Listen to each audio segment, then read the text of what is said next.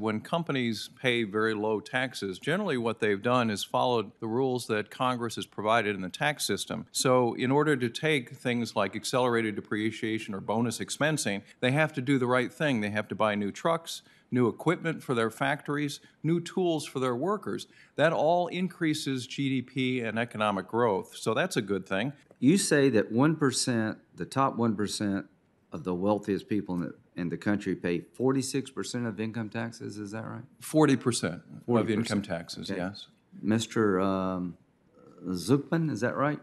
Professor Zucman. Zucman, Professor? Yes, th- yes, Senator, this is uh, correct, I believe. Okay, that's correct. All right, that's good. Is it true that about 30% plus of Americans pay no income tax? Uh, 35% of all Americans who file an income tax return pay zero income taxes. Actually, according to CBO data, the bottom two quintiles have negative effective tax rates because of the generosity of those refundable tax credits. Uh, uh, Professor, do you agree with that statement? Uh, Senator, I, I think when studying the progressivity of the tax system, it's important to take into account all taxes at all levels of government. And, I, and when I- you I do that. I- I just asked you a question. Do you agree with what he said? um, I, yeah, I agree with this. What is the average corporate tax rate in the industrialized world, Mr. Hodge? It's a little over 25% if you, you adjust it for, for economy size. The U.S.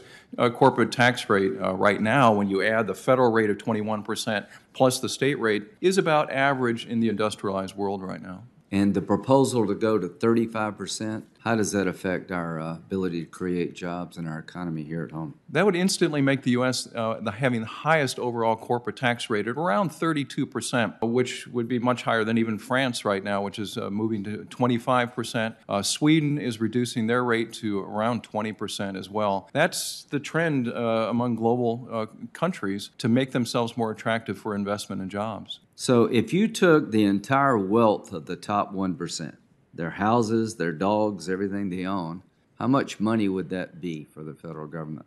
Uh, I'm sorry, Senator, I don't know the answer to that offhand. Hoping one of our other panelists does. I think it's about thirty trillion dollars. I can't remember, but it's, you know, it's a fraction of what you would need to get us out of debt is my question. Do you agree with that? If you confiscated all the wealth of the top one percent, that doesn't get the nation out of debt. Is that a fair statement? Yeah, I think you couldn't possibly confiscate all the wealth and it wouldn't be able to get us out of debt on the debt trajectory that we're on. That's correct. Okay.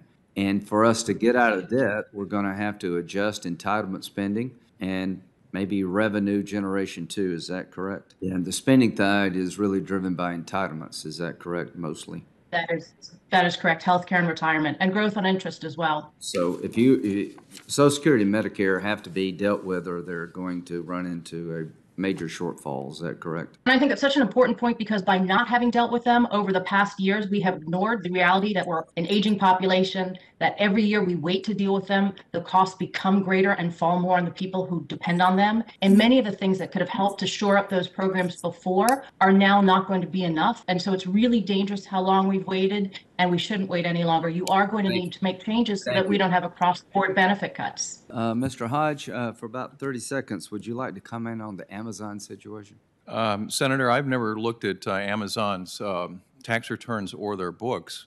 What I can say is that when companies pay very low taxes, generally what they've done is followed the rules that Congress has provided in the tax system. So, in order to take things like accelerated depreciation or bonus expensing, they have to do the right thing. They have to buy new trucks, new equipment for their factories, new tools for their workers. That all increases GDP and economic growth. So that's a good thing. Um, they also provide stock options for their employees, which makes their employees wealthier. So they're sharing uh, the uh, wealth of the company uh, with their employees. All of those are, are in the tax code, and so they're doing the right thing. And that's all things that Congress has put in the tax code for companies to do.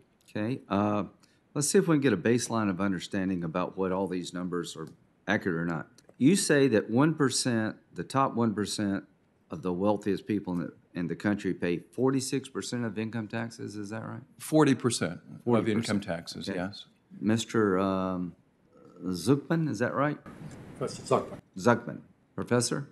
Yes, Yes, Senator, this is uh, correct, I believe. Okay, that's correct. All right, that's good. Is it true that about thirty percent plus of Americans pay no income tax? Uh, 35% of all Americans who file an income tax return pay zero income taxes because of largely tax credits such as the child tax credit, uh, earned income tax credit, education tax credits, and so forth. That's federal income tax, correct? Federal income tax, that's correct. Yeah. And according to CBO data, uh, many of those are refundable tax credits, which actually completely offset their payroll taxes as well. Actually, according to CBO data, the bottom two quintiles have negative effective tax rates because of the generosity of those refundable tax credits. Uh, uh, Professor, do you agree with that statement? Uh, Senator, I, I think when studying the progressivity of the tax system, it's important to take into account all taxes at all levels of government. And, I, and when I- you I do that, I- I just asked you a question. Do you agree with what he said?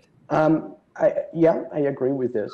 Now, I understand where you're coming from. I'm, you know, just trying to get some data points here. What is the average corporate tax rate in the industrialized world, Mr. Hodge? It's a little over 25% if you, you adjust it for, for economy size. The U.S.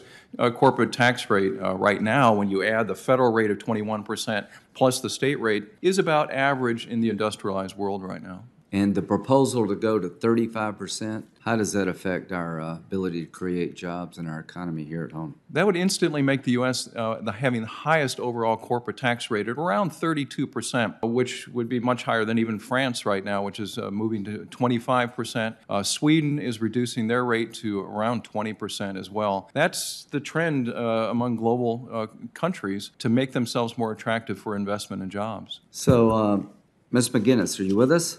Ms. MacGuineas? I am with you. Okay, so if you took the entire wealth of the top one percent, their houses, their dogs, everything they own, how much money would that be for the federal government? Uh, I'm sorry, Senator, I don't know the answer to that offhand. Hoping one of our other panelists does. I think it's about thirty trillion dollars. I can't remember, but it's, you know, it's a fraction of what you would need to get us out of debt is my question. Do you agree with that? If you confiscated all the wealth of the top one percent, that doesn't get the nation out of debt. Is that a fair statement? Yeah, I think you couldn't possibly confiscate all the wealth and it wouldn't be able to get us out of debt on the debt trajectory that we're on. That's correct. Okay. And for us to get out of debt, we're going to have to adjust entitlement spending and maybe revenue generation too. Is that correct? Yeah, and I want to be sort of realistic. I don't think we're going to be able to get out of debt. I don't think we need to get completely out of No, a debt. better, a At this better, point, would right, a better Yeah, ratio. just Yeah. just to get us to the point where the economy is growing faster than the debt instead of the reverse. And we are not going to be able to do that along with this expansive agenda without looking at all parts of the budget. So taxes on the well-off, but also probably broad-based taxes if we're talking about big expansions and certainly changes on the spending side. Yeah, and the spending side is really driven by entitlements. Is that correct mostly? That is that is correct. Healthcare and retirement and growth on interest as well. So if you, Social Security and Medicare have to be dealt with or they're going to run into a major shortfall. Is that correct? And I think it's such an important point because by not having dealt with them over the past years, we have ignored the reality that we're an aging population, that every year we wait to deal with them, the costs become greater and fall more on the people who depend on them. And many of the things that could have helped to shore up those programs before are now not going to be enough. And so it's really dangerous how long we've waited, and we shouldn't wait any longer. You are going to Thank need to make changes so Thank that we don't have across-the-board benefit cuts. Thank you very much. Sorry, Mr. Chairman, went over.